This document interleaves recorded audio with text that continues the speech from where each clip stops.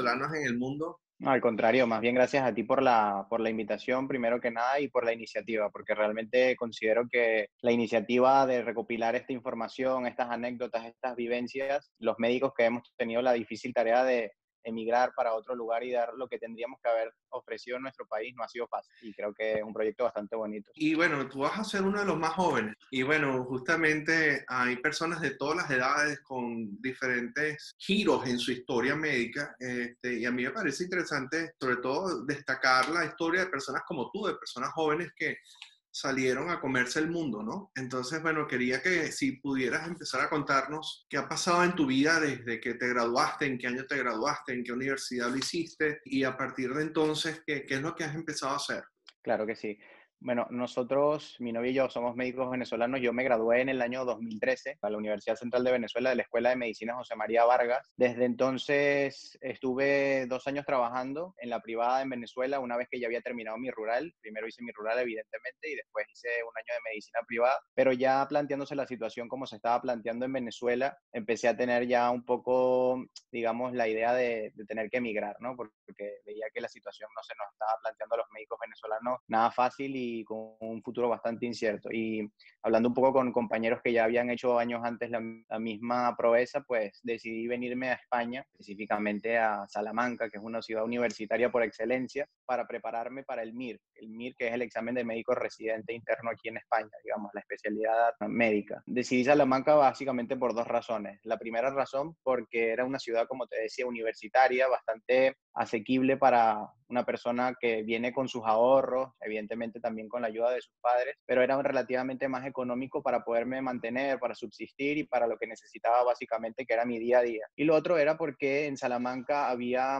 una modalidad del curso del que en vez de ser clases una o dos veces por semana, por el contrario, eran todos los días y aprovechamos la oportunidad de que había estas dos, digamos, cosas positivas en un mismo lugar y decidimos emprender la misión para allí, para Salamanca.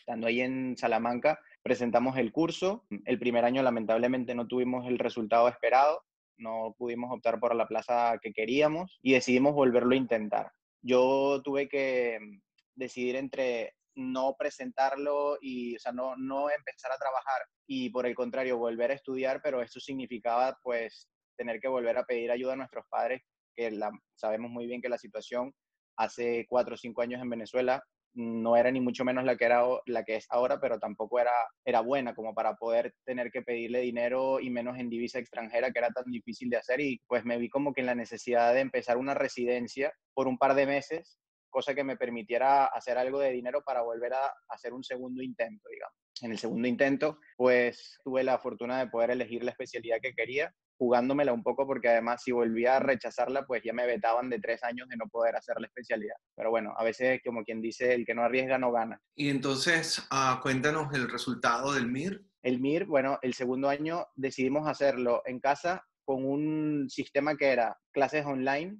porque ya habíamos tenido como que la ardua tarea de ir todos los días al, al, lugar y dijimos, eso nos dejó un poco cansados, vamos a enfocarnos más bien a lo que necesitamos exactamente, que era hacer este sistema de preguntas repetitivas, que al final es en lo que consiste el examen, repetidamente hacer preguntas y mientras más preguntas haces, pues más probabilidades tienes de, de hacer el, el, examen correctamente. Y en esta segunda oportunidad, pues quedé en cirugía cardiovascular del Hospital Vallebrón, que es la especialidad que, que, quería. ¿Cuándo empezaste en Valdebrón? En mayo del 2017, porque a diferencia de Venezuela, aquí los posgrados no inician el primero de enero como suelen hacer en Venezuela, sino aquí el posgrado empieza en el mes de mayo. Ahora este mayo ya cambio de, de año de residencia. Ahora actualmente ya estaré en cuarto año de la residencia. ¿Y cuántos años son la residencia? Generalmente las residencias son las médicas digo generalmente porque no es el 100%, suelen ser cuatro años, con excepciones como por ejemplo medicina interna, que son cinco, y las quirúrgicas, por otro lado, también generalmente, porque no se cumplen todos los casos, suelen ser cinco años. ¿Y te sientes contento? ¿Estás, estás satisfecho? ¿Te sientes que te estás desarrollando en lo que tú querías? Sí, sí, sí, sin duda alguna. Al principio, como todo, como cuando uno hace algo por primera vez, tienes la incertidumbre de si habrás elegido si habrás hecho o tomado la decisión correcta, pero ahora a día de hoy me siento súper satisfecho, súper contento. No dejo de tener nervios en el futuro porque evidentemente no sabemos qué va a pasar el día de mañana, pero creo que a lo que estoy haciendo ahora, lo que me estoy dedicando ahora es lo que siempre quise. Okay. Allá, allá la especialidad es médico cardiovascular o cardiotoráxico es más cardiotorácico porque de hecho en mi hospital tenemos servicio de cirugía, de cirugía vascular o angiología y cirugía vascular y por otro lado estamos nosotros que somos los cardiovasculares. A pesar de que ellos existen, nosotros también tenemos prácticas y conocemos y dominamos técnicas vasculares como tal, aorta ascendente, arco aórtico y anastomosis, bueno, que son las anastomosis coronarias, al final son anastomosis vasculares, pero nos centramos más que todos, digamos, en el corazón, a reemplazos valvulares, cirugías, en mi caso, en el Hospital Vallebrón tenemos la cirugía congénita del adulto, también la pediátrica y la cirugía coronaria y la disección aórtica, que es por excelencia nuestra urgencia, digamos. Sí, no, me parece extraordinario que, que estés haciendo tu posgrado en el Valdebrón, porque por supuesto en, en, mi área el Hospital Valdebrón es, una, es un hospital de referencia en toda España, ¿no? Entonces... Sí, sí, cómo no. Es todo un centro universitario extraordinario, ¿no? Sí, sí, sí. En oncología de verdad que es uno de los hospitales que tienen muchísima eh, fama, sobre todo porque, porque son un centro de referencia, como dices tú, para muchos ensayos clínicos que se están haciendo. En ese sentido, también me siento orgulloso de estar allí porque, porque nos reconocen en el mundo por eso. Y cuéntame un poco de la vida de Barcelona, si es que te da chance de vivirla. Bueno, sí, claro. Barcelona es una ciudad muy interesante, es una ciudad muy atractiva, muy...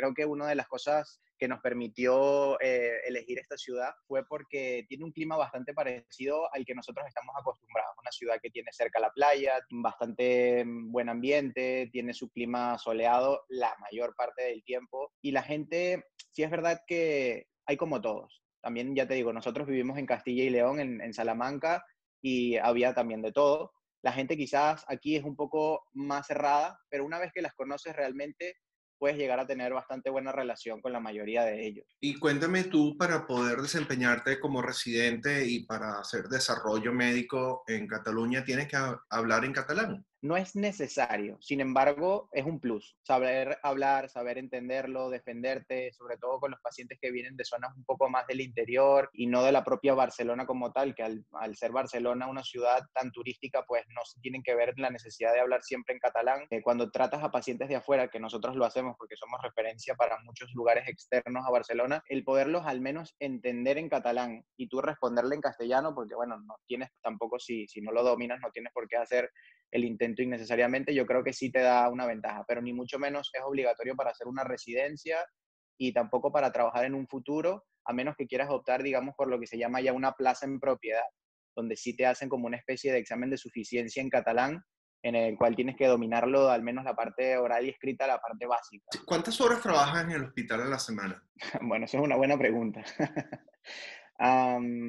Normalmente suelo llegar a las siete y media de la mañana, ¿no? Entre que reviso un poco cómo han pasado la noche los pacientes, después de allí reunión de servicio donde discutimos con el jefe del servicio y el resto de los adjuntos un poco la situación de los pacientes, comentamos los dos casos o tres, normalmente hacemos tres casos, dos por la mañana y uno por la tarde. Si tenemos que ver algún cateterismo, alguna coronariografía, pues la vemos y después de allí empezamos a pasar visita a todos los pacientes, ¿no? Lo que llamábamos en Venezuela la revista, pasamos revista y estos suelen ser entre unos 15, 18 pacientes más o menos. Pasamos a la UCI, que son los pacientes que están ingresados, bien porque se operaron ayer o antes de ayer. Una vez de, que se pasa la revista, a veces nos da, nos da tiempo de escribir los cursos clínicos, otras veces ya en el quirófano están avisando instrumentistas, perfusionistas, quirófano listo, paciente ya está intubado y todo.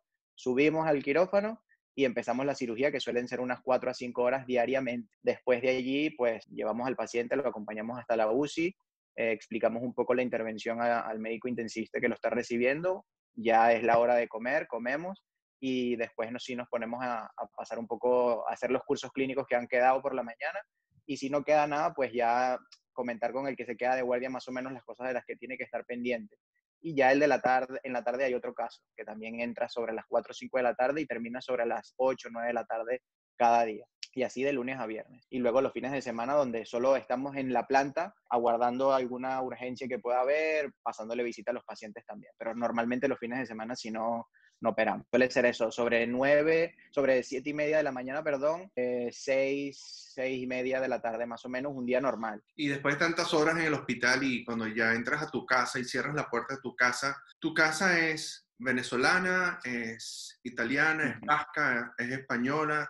¿Cómo mi casa es un poco, mi casa es un poco de todo, sí pero yo creo que primordialmente mi casa es venezolana. Mi casa es venezolana, de hecho, nada más entrar a la mano derecha ya tengo una bandera de Venezuela, eh, tengo un rincón venezolano donde tengo un chinchorro allí que, bueno, lo sacamos a veces también cuando hace días como hoy, lo ponemos afuera. Yo creo que sí, que mi casa tiene que siempre recordarnos de dónde venimos, porque es lo que nos hace ser lo que somos hoy, nos hace sentir como identificados. ¿Y, y cómo ha sido tu adaptación en España? Bueno, la verdad es que no tengo ninguna queja del momento, ha sido bastante bien recibida, como te decía desde el primer momento cuando estuvimos allí en Salamanca teníamos un casero que al principio me da risa porque recuerdo que fuimos en un viaje mis padres y yo a ver Salamanca cuando ya teníamos en mente de que íbamos a ir ahí y el casero, claro, ya tenía como que ese lugar un poco apalabrado con otra persona, pero mi padre un poco en, en función de padre, al fin y al cabo, y preocupado con que en dos meses yo tenía que ir a Salamanca y iba a estar solo, se vio un poco allí en la tarea de hacer convencer a aquel hombre de que, de que nosotros necesitábamos aquel piso que él estaba ofreciendo, que estaba bien situado para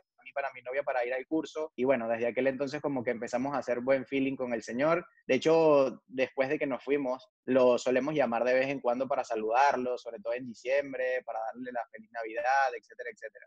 Aquí en Barcelona igual, la verdad es que al inicio, como todo, son personas distantes, pero una vez que te los vas ganando, cosa que creo que a los venezolanos nos sobra muchísimo esa carisma, con respeto, evidentemente, del buenos días, de preguntar, de preocuparse por la gente. La gente luego se abre y, y, te trata muy bien. Hay de todo, ¿no? También hay personas que se interesan mucho en la situación de Venezuela, sobre todo sociopolíticamente hablando. Al inicio me esforzaba un poco más, también te lo tengo que confesar, al inicio me esforzaba un poco más y les comentaba con un poco más de lujo de detalles todas las cosas. Pero llega un momento, después de que tienes que explicar tantas veces lo mismo y después de que tienes que dar tanto detalle y sobre todo cuando la historia se hace tan eternamente larga como la estamos viviendo ahora, que ya no existe ni siquiera un punto de partida y uno de final, sino que son tantas cosas que ya me remito simplemente a responder con monosílabos y realmente la situación está tan mal como dicen.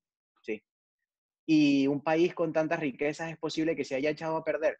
Sí porque llega un punto en donde tú realmente, por más que se lo puedas hacer entender con palabras, yo creo que no va a haber un sentimiento tan identificado como el que tienes tú para que otra persona lo entienda. Y por otro lado, me he dado cuenta también de que no toda la información llega a personas por igual, porque conozco gente que son sumamente preparadas, capaces de discernir entre lo que es cierto y lo que es falso, y a veces te quedas sorprendido porque oyes las cosas que sabes que no están bien o que no son las correctas, que están convencidos ellas de que así era y de que así es.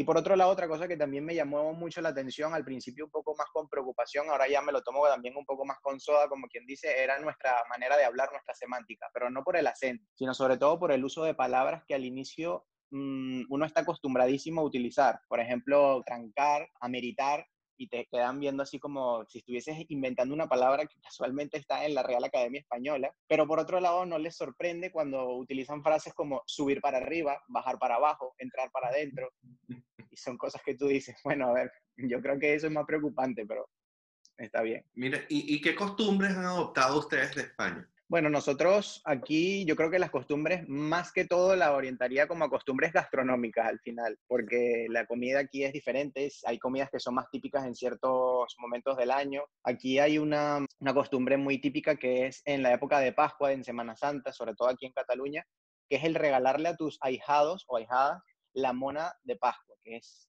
eso, una tarta, una especie de bizcocho con un huevo de Pascua que el padrino le regala a su ahijado. Y pues desde que estamos aquí digo desde que estamos en plural porque mis, mis hermanos, mis cuñados, mis sobrinos están aquí también, afortunadamente. Les he tenido como que ese detalle cada, cada Pascua y Semana Santa y, les he regalado a mis ahijados su, su mona de Pascua. También hay una época del año en el que se come, son una especie como de ajoporros que se llaman calzots aquí, que se comen a las brasas con una salsa, pues también tenemos nuestro momento en el año donde los compramos y los hacemos. Y otra costumbre que no es mm, gastronómica ni mucho menos es aquella de ir a la playa simplemente a tumbarse a, a recibir el sol porque el agua está helada. A pesar de que hace 23 grados, el agua parece que estuviese a menos 8. Mira, y ahora remontándonos un poco a, tu último trabajo en Venezuela, ¿dónde fue que recuerdas de, esa, de ese trabajo que tuviste al graduarte, no? Sí, tan pronto nos graduamos, eh, yo hice la, pasantía rural en el Hospital Armando Mata Sánchez de Punta de Piedra. Esto es casi una maternidad porque prácticamente todo lo que es esa parte de la península llegan los partos y cosas que realmente a veces te ponen los pelos un poco de punta, ¿no? La experiencia ahí fue bastante bonita, fue bastante bonita porque considero de que cuando la gente oye que le dices Margarita, claro, lo primero que se le viene a la mente es, ah, bueno, allí lo que hiciste fue estar en playas, rumbear, etcétera, que no digo que no hubiese momentos para eso, pero realmente también es gente que la pasa con necesidades como muchas otras personas. Y claro, éramos tres médicos por guardia, recién graduados, con chuletas, con llamadas a amigos, con personas conocidos que eran especialistas en algo, en una guardia de 12 o de 24 horas te llegaba lo que te llegaba y tú tenías que improvisar realmente como pudiese. No se me olvida nunca una guardia que tuvimos el día 8 de septiembre, que era casualmente el día de la Virgen del Valle, y un poco esto va por precisamente porque era ese día allí en Margarita. Hubo un desastre por la zona, desastre en el sentido de que nos llegaron tres tiroteados, nos llegó un parto en expulsivo, todo al mismo tiempo. Y éramos además, en vez de tres médicos que suelen estar, eran dos médicos porque la tercera persona ese día no pudo. Y tuvimos que decidir, decidir entre quién llevábamos primero al hospital, hospital que quedaba 40 minutos, una sola ambulancia y evidentemente si se va uno no se puede quedar el hospital vacío. Bueno, afortunadamente ahora lo recuerdo con risas, pero ese día la pasamos un poco, digamos, con nervios. Todo salió bastante bien, pero, pero que fue una experiencia única. Después de allí, de, trabajar un año en el hospital Armando Mata Sánchez de Punta de Piedra, también trabajé en, el hospital, en la clínica, perdón, clínica Costa Azul, una clínica que quedaba ahí en Margarita, también igualmente como médico en urgencias. Tuve la oportunidad también un día, aprovechando, bueno, para contarte una anécdota, un día tuvimos un paciente que atendí que ni mucho menos lo sabía, hasta el momento en que evidentemente luego me lo comentaron, que era un concejal de Margarita. Parece ser que lo atendí de una manera extraordinaria. A mí no me recuerda particularmente nada en especial que le haya hecho. Y resulta que, que este señor luego me nominó a un premio, al hijo adoptivo de Por la Mar, que me entregaron un día en una plaza allí en Por la Mar, de la mano del mismo Alfredo Díaz, de la cual me siento bastante honrado y orgulloso porque creo que mm, yo soy caraqueño, nací en Caracas, pero yo creo que la otra mitad de mi corazón está totalmente en Margarita. Por esos dos años que, que viví allí, pues me identifiqué muchísimo con la gente. Y después de, de, estos dos años en Margarita, me fui para Caracas, ya evidentemente también con mi novia, pensando en la idea de que, de que la situación no se estaba prestando para, para el posgrado que queríamos hacer allí ella de pediatría y yo de cirugía general, y estuvimos trabajando en el centro médico docente de la Trinidad, otro añito más, haciendo un poco más de ahorros para poder venir aquí, pero bueno, nos fuimos yo creo que con la gran satisfacción realmente de haberle devuelto a nuestro país, así sea poco, el año de rural, tanto se merece que le devuelvan los médicos, que ayuden a la gente que está allí, porque después de una educación de calidad como es la venezolana, mm, lo mejor que puedes hacer es, es tener ese gesto, ¿no? Con tu país. Sí, una educación excelente y gratuita. Yo estuve en San Francisco de Macanao, así que conocí el hospital de Punta de Piedras muy bien. muy bien, muy bien. Mira, este, remontándonos un poco a, a la universidad, ¿qué, ¿qué te motivó a ti ser médico? Yo creo que principalmente esa sensación gratificante de ayudar a alguien. A mí siempre, siempre me, sentí identificado con, esa sensación de cuando alguien necesitaba de ti, se caía y tú le podías dar una mano, lo levantabas o le aguantabas la pierna mientras le pasaba un poco el dolor, como que te sentías identificado con eso. Pero no tengo que tampoco negarte que bueno, que soy una persona muy devota también, muy creyente y me siento todavía hoy en día y seguiré haciéndolo identificado un poco con la imagen de José Gregorio, ¿sí? nuestro gran médico referente en ese sentido en Venezuela y creo que una influencia muy importante ha sido él para que yo me decidiera estudiar medicina. Todavía, de hecho, hoy en día para mí lo es. Así que, que, sí, no tengo ningún familiar médico, ni mucho menos como que yo me sintiera identificado. Lo más cercano que tengo es a uno de mis hermanos, que es farmacéutico, egresado también de la UCB, en el, en el ámbito, digamos, de la salud, pero médico como tal no tengo a nadie. Ahora mismo tengo a mi prima, que ya acaba de terminar ahora también su, su pregrado ahí en la, en la Escuela Vargas de Medicina. Digamos como que el que empezó en mi familia fui yo. ¿Y te recuerdas quién firmó tu título? Mi título lo firmó la doctora Berenice Gómez, una pediatra, y diría que también lo firmó el profesor Carlos Bellorín, cirujano general, uno de los que más me, me influenció a mí a tomar la decisión de, de, ser cirujano también en el futuro. Una persona que, que no solamente en sus clases, sino como como un amigo, una persona muy cercana.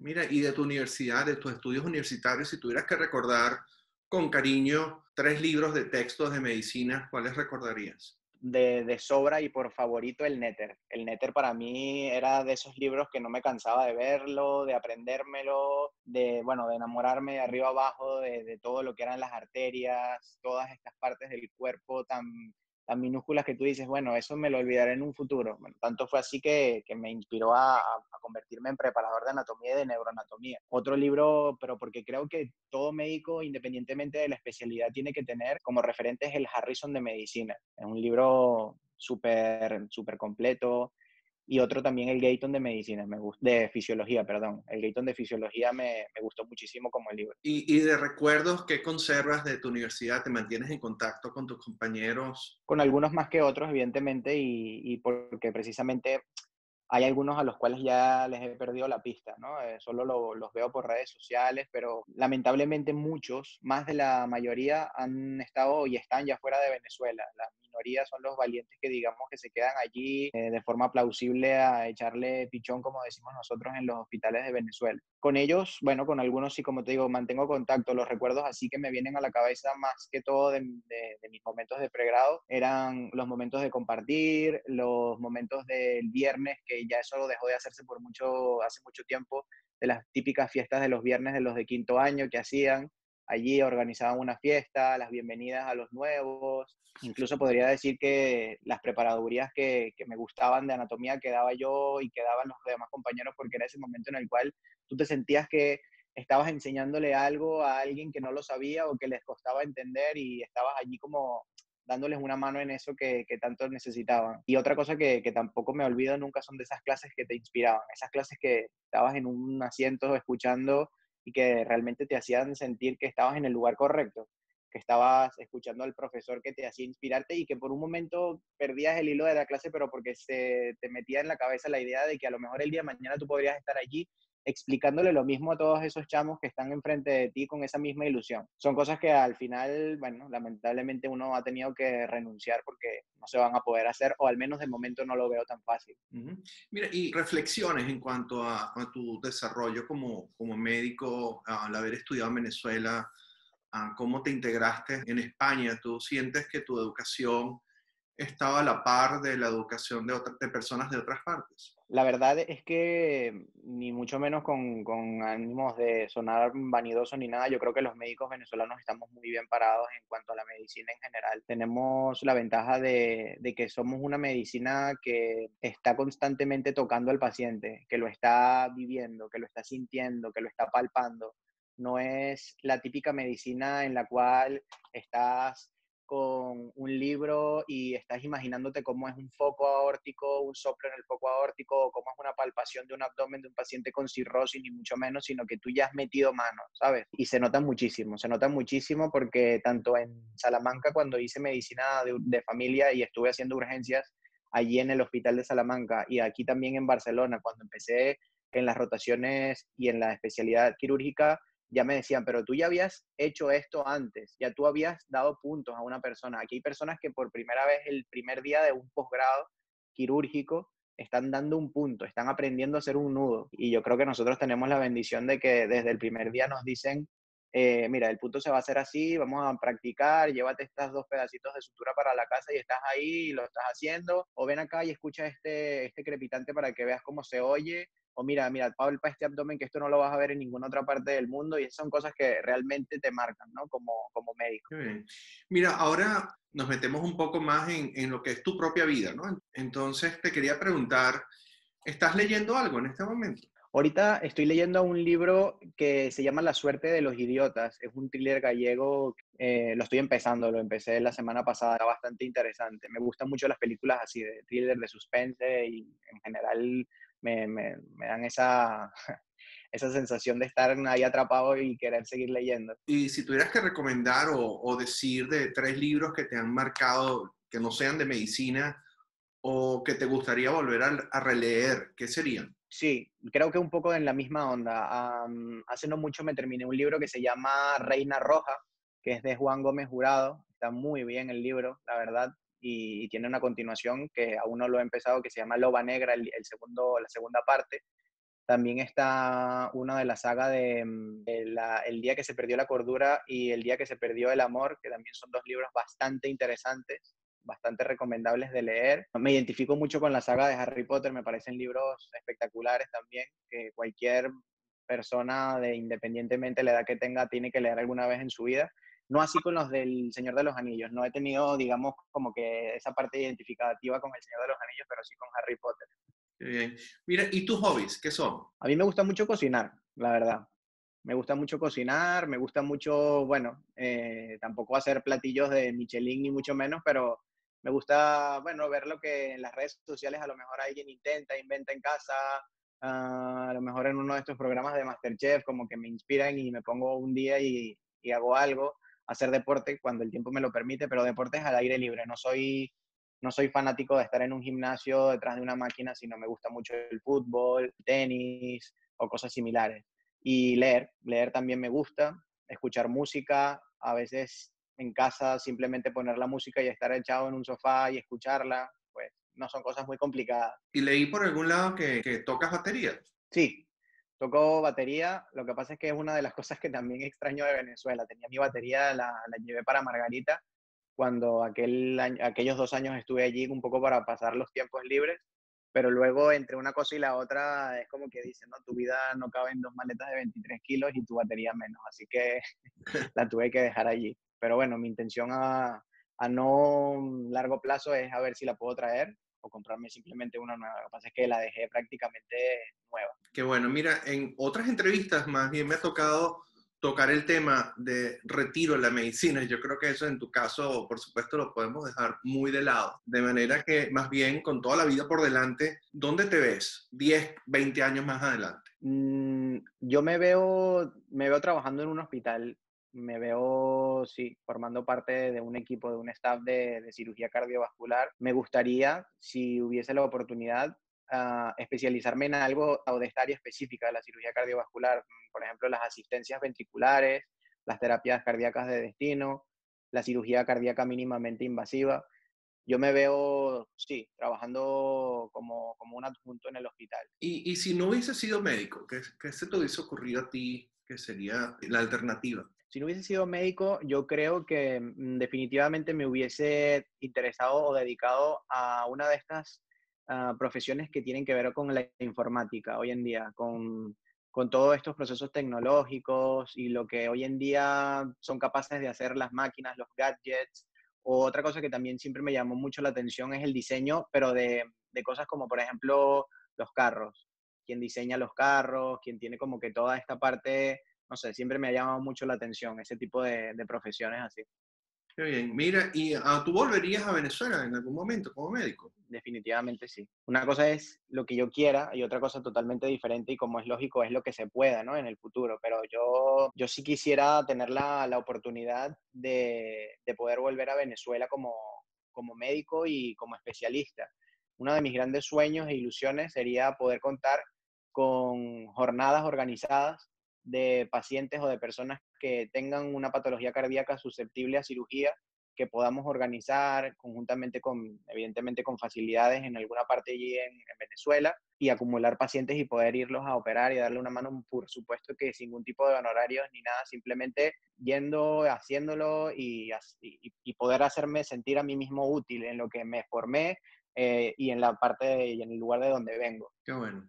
¿Y alguna reflexión en lo que te ha tocado vivir como médico? Reflexiones, bueno, la verdad es que aquí no es fácil, no es fácil, eso hay que decirlo, sé que está muy trillada esa frase de no es fácil, la verdad es que no lo es, pero creo que, que tenemos el potencial de sobra. Creo que mm, tenemos que darnos cuenta de dónde venimos, de lo que somos capaces de que tenemos que ayudar a la gente independientemente de si son o no son venezolanos, porque al final, como médico, esa es tu, tu función príncipe, ¿no? Ayudar a las demás personas. Y creo que cuando haces las cosas bien, las cosas te suelen ir correctas, no rápidas, porque no se puede ir rápido ni mucho menos, pero las cosas poco a poco se van encaminando una detrás de la otra. Así que, que nada, yo creo que lo más importante, independientemente de que no estemos en el lugar donde nacimos, donde quisiéramos a veces estar, es que tenemos que hacer las cosas bien, ayudar a las demás personas lo mejor posible.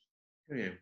Mira, y siempre cierro las entrevistas preguntándole que, que piense un momentico en Venezuela, si cierran los ojos y los vuelven a abrir, ¿qué sería lo primero que, que, que, vieras si, si estás pensando en Venezuela? Lo primero que vieras si estuviese pensando en Venezuela definitivamente sería las bellezas naturales con las que estamos acostumbrados, que extrañamos todos los días. Bueno, aquí tienes una de ellas, es el cuadro de, de una fotografía de Ipaniza, un lienzo del Ávila, porque me permite todos los días verlo, todos los días recordarme de que realmente tenemos unas maravillas naturales, eso, el Salto Ángel, los roques, las playas. No voy a caer en la discusión de que son las mejores del mundo. Yo de verdad considero que el mundo entero está lleno de cosas maravillosas, pero cuando uno está enamorado es como cuando te dicen que tu novia no es la más bonita o que tu novio no es el más bonito. Tú no lo ves así, tú sabes que para ti esa es la mejor. Puede ser que haya mejores personas o no y mejores playas o no, pero eso es lo que se me viene a mí a la mente